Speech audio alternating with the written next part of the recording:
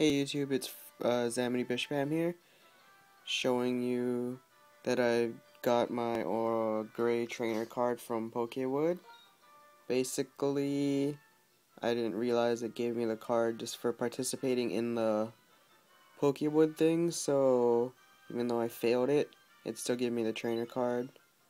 So yeah, I kind of have a different color card even though I didn't expect it. But as semi-proof, I'm going to load up the screen with all the little, uh, what are these things called? I don't even know what they're called, but yeah, my highest grossing film is right here, 721 billion. But my favorite was this one.